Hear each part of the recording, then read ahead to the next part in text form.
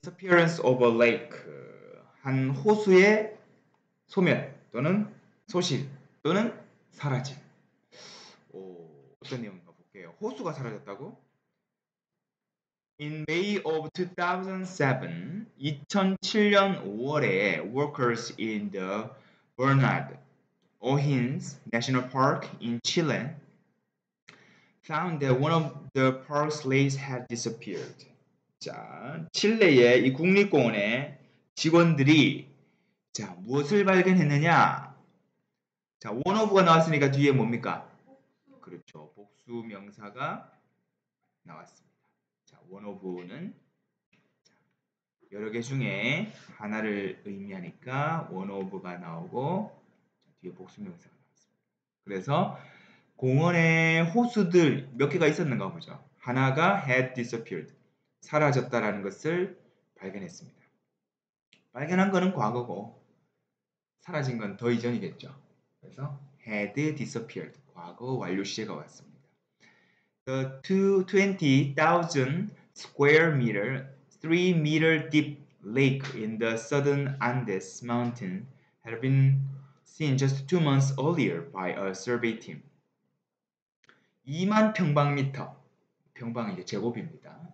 2만 평방미터의 너비에 30m 깊이에 어유 깊다.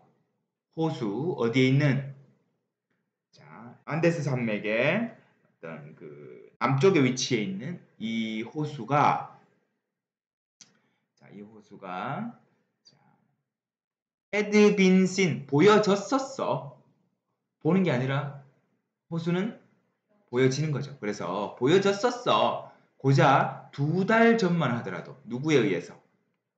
어, 조사팀에 의해서 그죠? 조사팀에 의해서. 그래서 이것도 이제 과거 완료 시제의 수동태 구조가 나왔네. 헤드빈 BP의 구조입니다. 헤드빈 BP.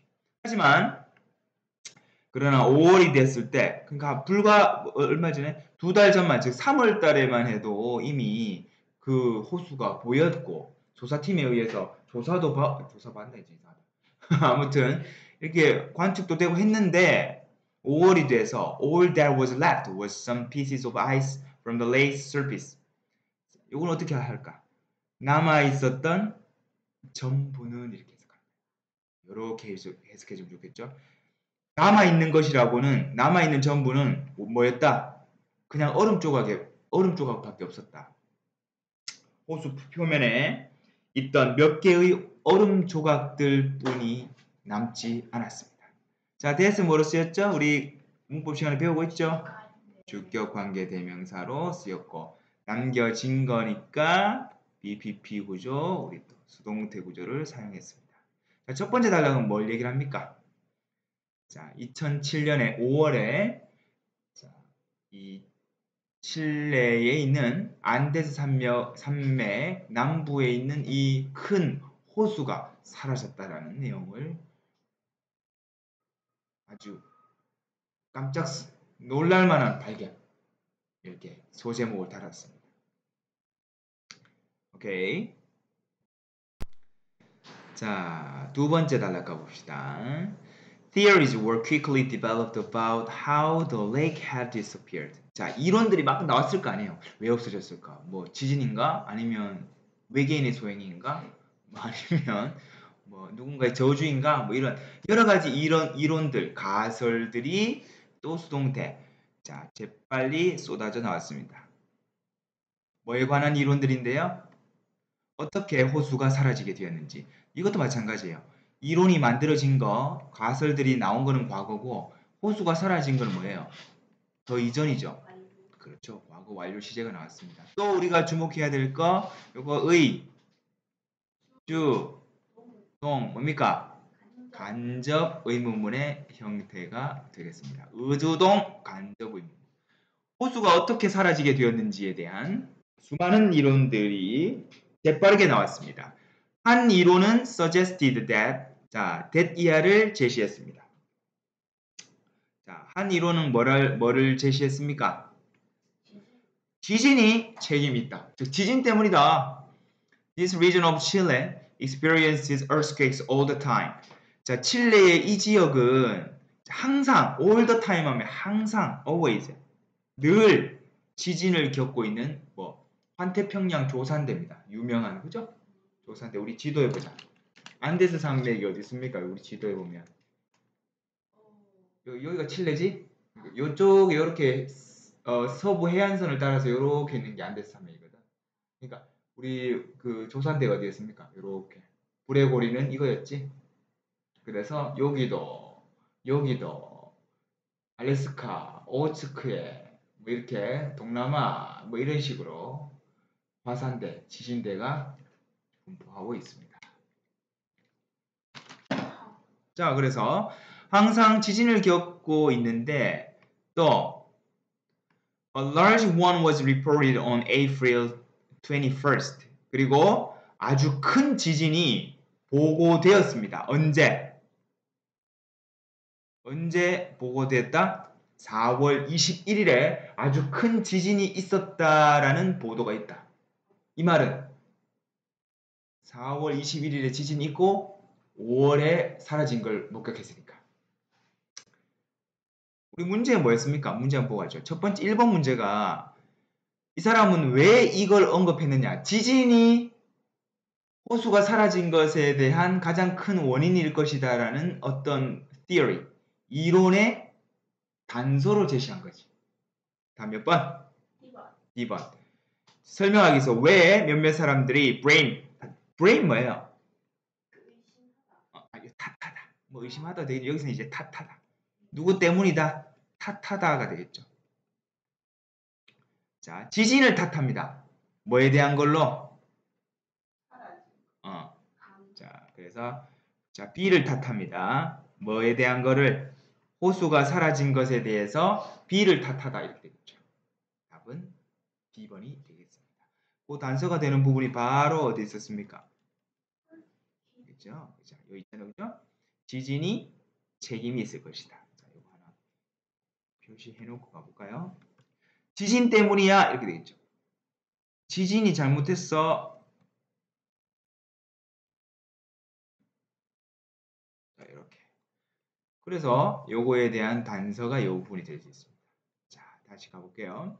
The earthquake could have produced, uh, produced cracks in the ground under the lake and caused the water to empty into them. 자, 지진이 could have pp. Could have pp 뭡니까?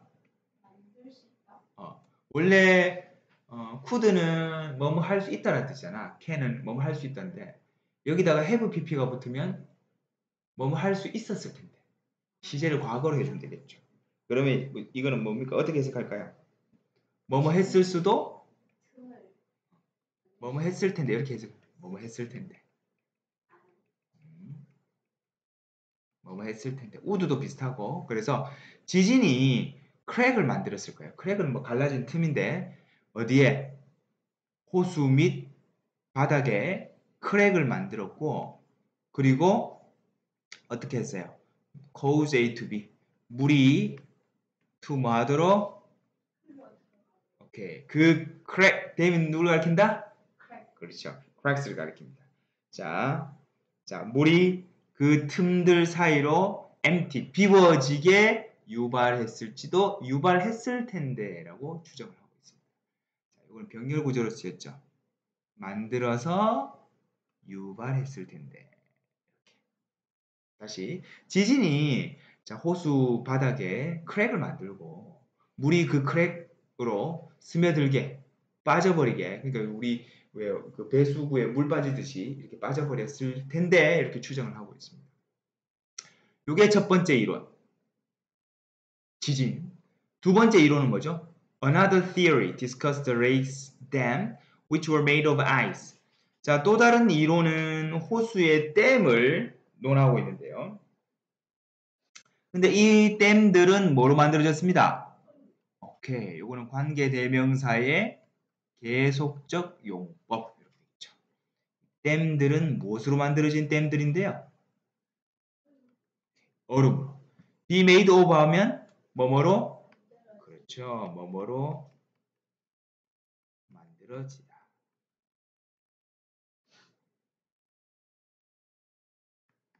자, 뭐뭐로 만들어지다라는 뜻이었습니다.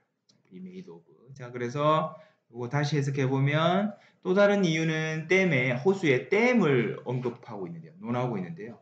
이 댐들은 얼음으로 만들어진 것이었습니다. These natural dams formed the lake by trapping its water. 자, 이 천연의 자연의 댐들은 형성했습니다. 형성되었어요. 자, 호수를 형성했습니다. 이 얼음으로 만들어진 댐이 호수를 형성합니다. 그러니까 물이 못 나가게. 뭐함으로써 by ing 물을 trapping. trapping 뭐예요? 가두다. 물을 가둠으로써. 자, 우리 by ing는 뭐뭐? 함으로써. 그렇지. If the ice dams had melted or broken for some reason, they would have released the water lying behind them. 만약에 자, 이 얼음 댐들이 녹아 녹거나 아니면 어떻게 돼? 부서지게 되면 뭐 때문에 몇몇 이유로 댐이 녹아버리거나 아니면 부서져 버리면 would have pp 뭐 할 텐데 뭐 할 겁니까? 자, 이 댐, 이 댐들은 아마도 물을 흘려 보냈을 텐데. 어떤 물인데요? 얼음 그 댐 뒤에 있던 뒤에 있던 물들을 흘려 보냈을 텐데. 요거 구조 좀 나, 낯익은 구조 아닙니까? 어, 만- 자, 가정법 아, 과거 완료의 형태라고 봐도 되겠나?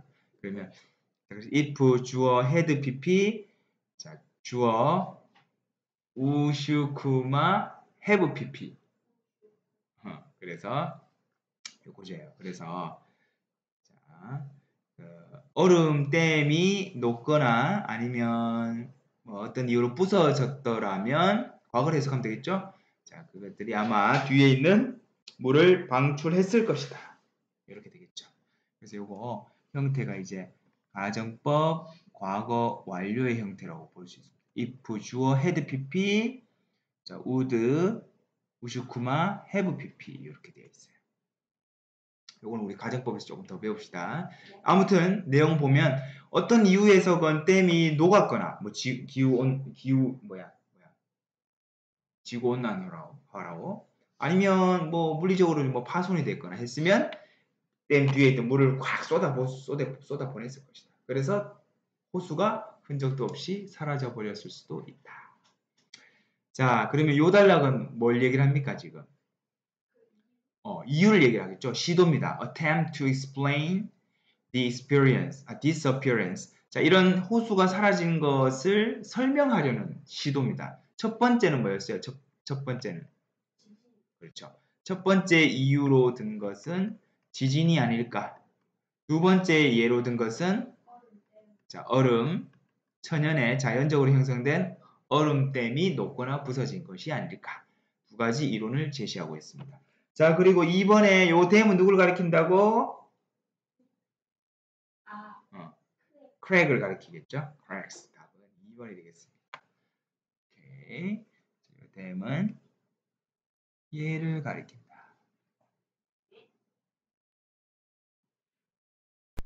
마지막 세 번째 단락 가보겠습니다. After a month or more of research, 한 달 또는 그 이상의 연구 끝에 조사 끝에 과학자들은 무엇을 알게 되었습니다. 호수의 얼음댐이 결국 실제로 사실 실제로 부서졌다라는 것을 알게 되었습니다. 결국은 원인은 뭐다? 얼음 댐. 얼음댐 때문이었습니다. All the water in the lake came from the melting of two nearby glaciers in the Andes Mountains. 모든 물이죠. 호수의 모든 물은 all the water 어디에서 왔는데요? 근처에 있는. 자 안데스 산맥에 인접해 있는 두 개의 glacier 뭡니까? 어, 빙하가 자, 녹은 것 녹은 것에서 모든 물이 유입됐다는 거죠. 일단 물이 이제 빙하가 녹은 물이었는데 그러나 지구 온난화가 이 빙하들을 어떻게 유발했습니다. 이렇게 녹게 만드는데 비교급 and 비교급 faster and faster 점점 더 빠르게 점점 더 빠르게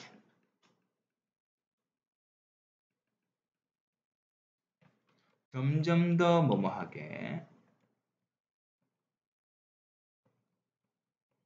점점 더 뭐뭐한 또는 뭐 하게 이렇게 하면 되겠습니다. 그래서 점점점 빠르게 높게 유발하는 거죠. cause A to B 하면 A가 B 하도록 유발하다, 야기하다. 모든 뭐 호수에 호수의 모든 물은 어디에서 온다?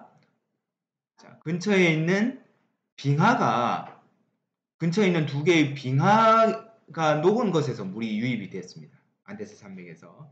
그런데 지구 온난화로 인해서 자, 이 빙하가 점점 빨리 녹게 되죠. 그래서 얼음댐이 이걸 받쳐줄 수가 없다는 거죠. 자, 파이널 마침내 2007년 5월에 they fed too much water into the lake. They 그것들은 feed 하면 원래 먹이를 주다라는 뜻이잖아. 그러니까 물을 줬겠죠. 너무 많은 물을 호수에다가 준 거야. they가 누굽니까? 빙하들을 가리킵니다. 이 빙하들이 너무 빨리 녹으니까 물을 더 많이 준 거야. 그래서 이 얼음댐이 not hold 그것들을 지탱할 수가 없었습니다. 그거 모두를 지탱할 수가 없었고 부서졌습니다. 뭐 하면서 보내면서 호수의 물을 아래로 산 아래로 그리고 바다로 다 흘려 보내면서 자 지탱해 줄 수가 없었습니다. 자 그래서 에, 얼음댐은 그것을 다 수용하지 못하고 홀드는 여기서 뭐 수용하다 담다 이런 의미로 쓰면 되겠죠. 그리고는 이제 부서져 버립니다. 뭐 하면서 자, 호수의 모든 물은 산 아래나 바닷속으로 흘려 보내버리고 말았습니다. 그래서 그 연구의 결과는 자 아까 전에는 두 가지 시도를 했었습니다. 지진이냐 얼음댐이냐. 근데 결론은 세 번째 단락에서 결론은 누구였습니까? 원인은 얼음댐이었습니다. 자, 요 데이가 가리키는 것은 바로 빙하들을 가리키고요. 몇 개, 빙하가 몇 개였습니까? 두 개. 자, 그 다음에 4번 요런 문제 한번 볼게요. 세 번째 단락에 따르면 이 세 번째 단락, 세 번째 단락 요렇게 요걸로 시작합니다.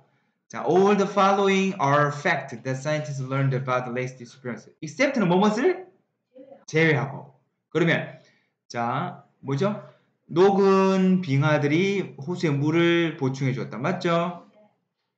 너무 많은 물이 자, 얼음댐이 어떻게 부서지게 야기했습니다. 맞죠? 자, 이 빙하가 평소보다 된 유절, 평소보다 더 빨리 녹았습니다. 맞죠? 호수의 얼음댐은 갑자기 녹았다. 지구온난화 때문에. 맞아요? 자, 세 가지 내용은 다 있었지만 호수의 얼음댐이 갑자기 녹았다라는 말은 없어요. 빙하가 빨리 녹아가지고 물이 너무 많이 와서 호수, 얼음댐이 부서졌다는 얘기지 추측에는 있었어요. 두 번째 단락의 추측에는 요게 내용이 있긴 있었어. 보면 얼음댐이 녹지 않았을까. 이건 추측이고 세 번째 단락에서는 그거 그거보다는 빙하가 빨리 녹아서 물이 너무 많이 와서 얼음댐이 부서졌다라는 게 정설이었죠. 자, 연구 결과였습니다. 그래서 답은 4번이 어색했습니다.